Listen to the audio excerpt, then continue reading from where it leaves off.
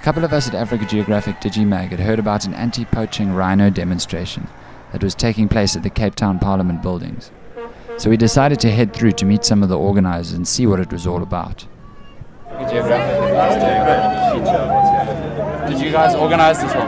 Yeah, we've been organising it with Getaway Magazine and the WWF as well, and Wildlife Act as well. So there's a few of us involved, yeah, trying to raise some awareness.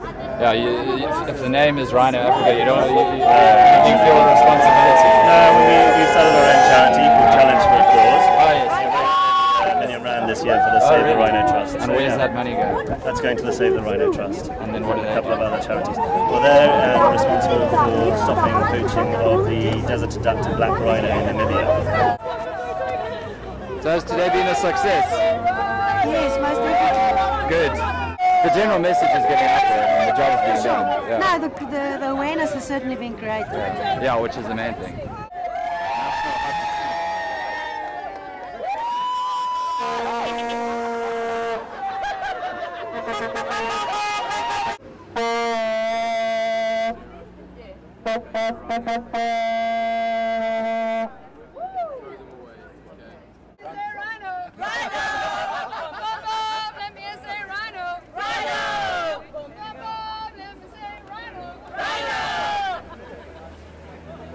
I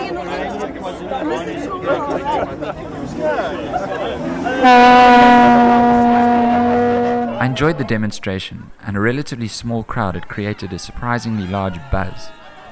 It felt good to be able to add my voice, or rather Vuvuzela, to the growing chorus of upset over these ruthless crimes taking place.